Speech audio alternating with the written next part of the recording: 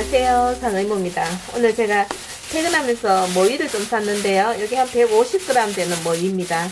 이렇게 보드라울 때 통째로 장아찌를 한번 담아 보겠습니다. 따듬을 거는 별로 없는 것 같아요. 조금 이렇게 좀 굵은 것 같아서 좀 떼어냈습니다. 어.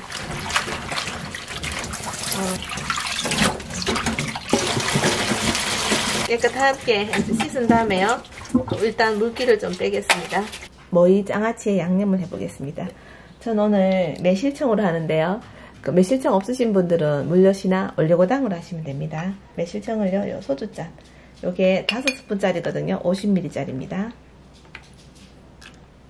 150ml 넣었습니다. 3개. 모이가 좀 쓰거든요. 그래서 좀 달게 해야 됩니다. 그래야지 맛이 좀 많이 커버가 됩니다. 자, 이건 진간장입니다. 한 개 넣었습니다. 그리고 저는 식초를 넣는데요. 신맛을 좋아하시면 한 개 다 넣으시고요. 저는 반만 넣겠습니다. 두 스푼 반.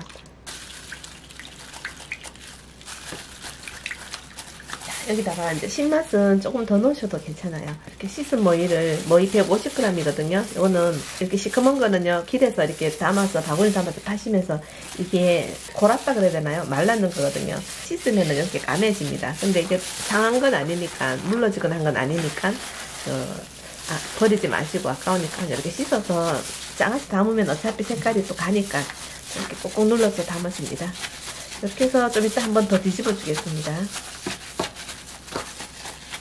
청양고추를 좀 이렇게 가위로 고막에 소스도 맛있어지지만 이렇게 나중에 고추를 같이 집어 먹는 것도 맛있거든요. 제가 매운 거를 잘 먹지는 못하는데 이렇게 가끔 조금씩 이렇게 섞여 있는 거에 좀 입맛도 돌아오고 정말 맛있습니다. 어, 그래서 청양고추를 늘 사놓고 이렇게 쓰는 걸 좋아해요. 요즘 청양고추는 그냥 먹어도 많이 맵진 않습니다. 그래서 이제 조금 있다가 한 3시간 뒤에 다시 뒤집어 주겠습니다. 비닐봉지에다가 이거 장아찌를 넣고 있습니다. 사실은 저걸 한 두세 시간 뒤에 뒤집어 줘야 되거든요. 근데 제가 지금 출근을 해야 돼서 뒤집어 줄 사람이 없습니다.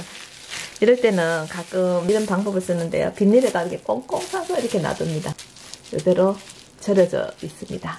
이렇게 작은 간장으로 이게 지금 간장이 되게 작은 양이잖아요. 뭐 위에 비해서 작은 걸로 할 때는 이렇게 비닐을 꼭꼭 싸서 하는 것도 괜찮아요. 그렇게 하면 간장을 적게 넣으면 또 많이 짜지지도 않고 자, 이렇게 한번 이렇게 놔두면 돼요. 싱크대에 올려놓고 출근하면 됩니다. 제가 퇴근을 해서 돌아왔는데요.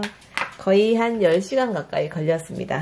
그랬더니 이렇게 숨이 폭 죽어가 있습니다. 중간에 뒤집어 줄 일도 없었고요. 만약에 이렇게 비닐봉지 싸놓지 않았다면 중간에 이제 한 2시간마다 뒤집어 주는 일을 했었어야 합니다. 안 그러면 간장물이 많아야 되는데요.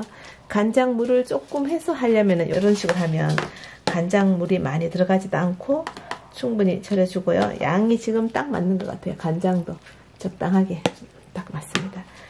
요거 다 드시고 나면 이 간장물은 또 어, 재래기 소스로 만들어 드시면 돼요. 매실이 많이 들어가서 단맛도 나지만요. 끝맛이 쓴맛도 나요. 음, 그래도 맛있습니다. 그 많이 짜진 않고요. 딱 좋습니다. 저는 여기에 딱 좋습니다. 어, 매운 고추도 하나? 음. 아, 매운 고추 제가 맨 입에 먹었더니 좀 맵네요. 어, 그래도 그 한 개 정도는 제가 감당할 수 있는 양입니다. 이거 고기랑도 드셔도 좋지만 그냥 식사하실 때 어, 드시면 너무 맛있습니다. 오늘 머리장아찌 또 간단하게 잘 됐지요. 상어 이모의 머위 장아찌였습니다.